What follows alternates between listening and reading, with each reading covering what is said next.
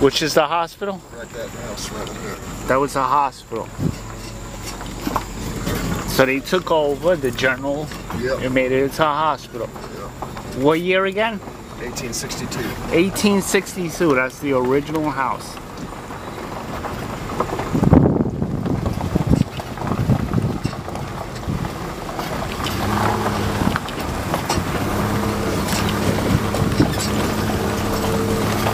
Check that out. And it's haunted, you said? Can you imagine how many people died in there? Look at that. And see where we were? Yeah. It was over there. Straight across. And they were shooting this way and they were shooting this way. That's the big valley. Over there where them telephone poles and stuff are. Yeah. That grove of trees right in front of us. Yes. That's where the cannon was that we were at. Okay. But anyway, this this was on national TV on uh, Unsolved Mysteries. A lady, she lives in Perryville. She's a ghost hunter, and her and her friend was up here at uh, right at dusk, and they had a lantern going, and they were sitting in their chairs up there on the porch, and they they said a Confederate soldier just appeared out of the blue and just walked up to him and said, "You need to dim your light. You're going to give away our position." Shoot. and then turned around, walked away, and disappeared.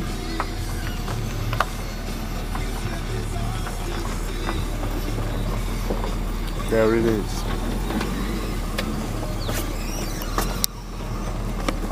Yeah, we were just over there on the other side of the hill.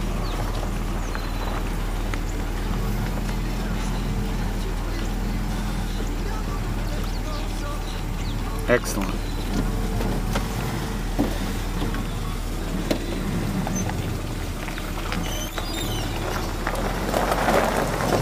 See, it was a big battlefield. Yeah. Well, But there's a lot to walk around and see, you know, other than, you know, driving. Look how stumpy that water is. yeah. Look at that. That's that's unbelievable.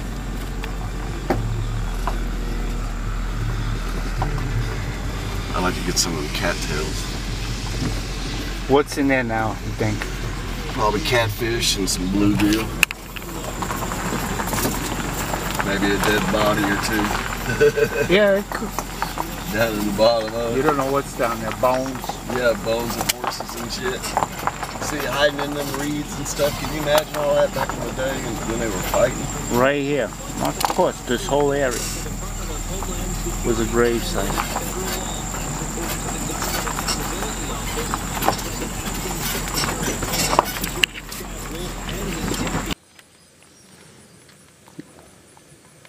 says when the Battle of Perryville, Perryville ended, hundreds of dead soldiers were left on the battlefield.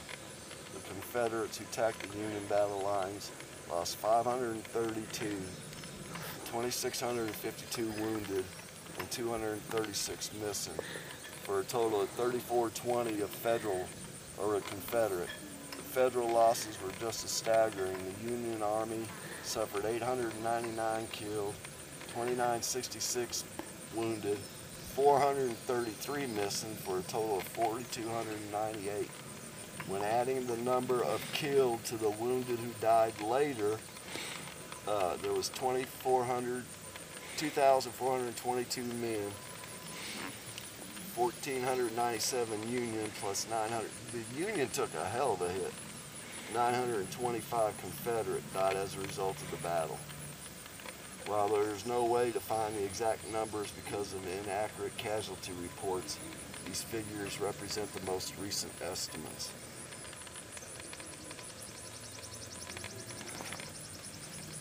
It said the struggle of the day before, bodies of the men and horses scattered everywhere. In the fields by the roadside, every house and barn was filled with the maimed and dying. Oh. Many of them were in the most horrible condition that the mind cannot conceive. Wow. Some were shot through the head, body, or limbs, other mangled by fragments of the shells. 200 people, two, it's likely around 200 are buried in there. They just threw them right in the grave, dug up a hole and just dumped them in there. Yep, it said the Union dead were later moved to Camp Nelson, and I know where that's at, in Jessamine County, despite the soldiers' and citizens' effort to mark burial si- sites. Scores of unmarked graves still exist around the battlefield, Okay. but there's 200 of them estimated buried in here. Okay. The mayor of Cincinnati? Look, take a picture of this when get done. Yeah. I'm just shooting video, Oh, Rain. yeah, no, ahead. Look how beautiful we. Oh, I know. Tell them where we at. We're in Perryville battlefield, and I'm gonna smoke one for the general. You damn right we will. So this cannon was standing there, Shooting out that way. Shooting way out there in the range. And this can. I'll read it to you real quick. Go ahead. Here on this ridge, the Union soldiers established a strong defensive position at the eastern edge of a 25-acre cornfield. Leonard Harris's brigade, along with William Lytle's brigade, to your left, and six cannons of Peter Simon's battery awaited the Confederate attack. The troops were primed and ready, already somewhat involved in the defensive attacks of Gen- General Cheatham's Confederates. With a shout, Jones' Confederate brigade crested the hill in front of you. Outnumbering the Confederate attackers, the Union troops' musket blade sheets of flames erupted from the hundreds of rifles in rapid fire at close range. Jesus. Although the Southerners tried to charge down into the valley four times, the tenacious Federal infantrymen repelled the attack as the cannons blasted holes in the Confederate lines and tore them apart. They retreated. While the Union troops stifled Jones' attack, the successive attacks of John Brown and Sterling M. Wood's brigades doing so severely depleted their ammunition. Furthermore, their artillery withdrew because of lack of ammunition as well, as fears being captured by the Confederate infantry.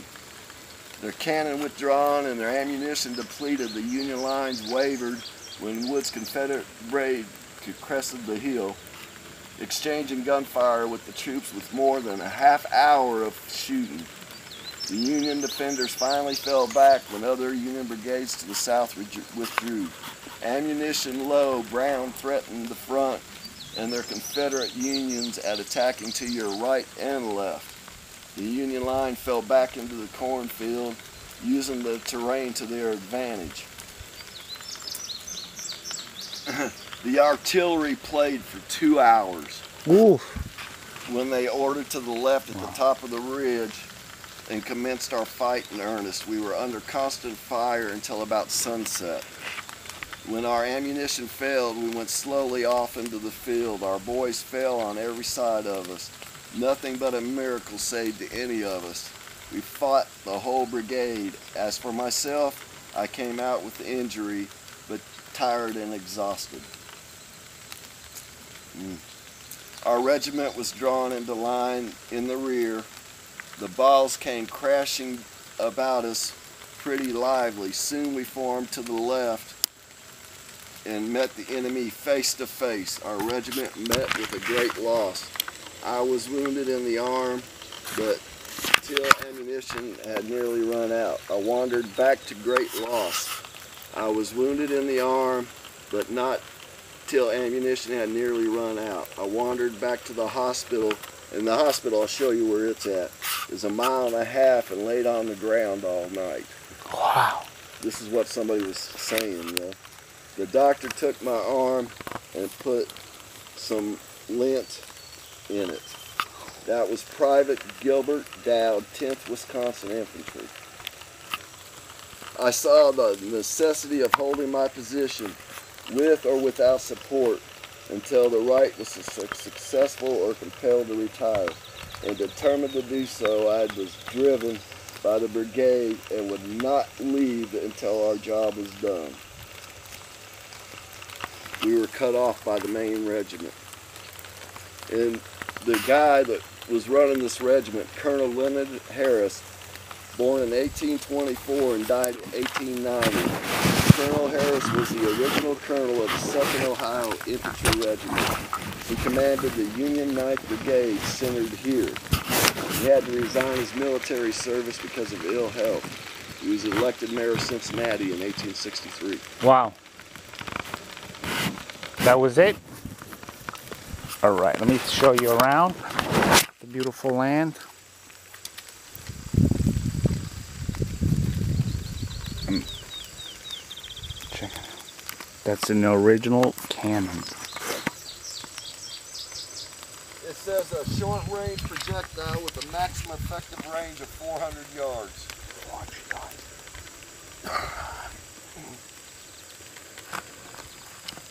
Okay. I'm gonna stop. It said the canister is an artillery projectile that consists of a tin can packed with many, usually 30 to 50 lead iron balls when fired. The balls scattered out of the cannon's muzzle, and the blast from the canister would cut down large swaths of people.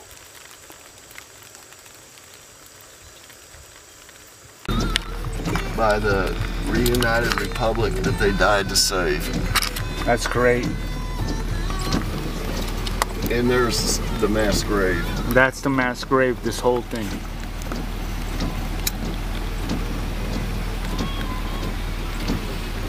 Yeah, we'll get you we can get a picture I'm just taking video right now. See, that's the divisions. That's the division. It's got a sign, you know, tells The story, the history. part of it, yeah. Right, that's that's neat. Look at that. Five thousand people Yep, 5,000 people died here right here. in 1862. And everybody a lot of people were buried here, right? Which Yep. all up and down. Look at that. Yeah, they're they're buried where they fell. I mean, you know, I understand. here. There's a lot more to it. We're just riding up here where the where the grave was. Okay. The little museum over here. Yeah, and I, yeah, I'd take you in there, but No, it'll be another day. It'll be another day. Know, I would definitely love to come back here. Spend the day. There you go. I got video of it. Okay. We're good. We'll ride around in here. I mean, it's just wow.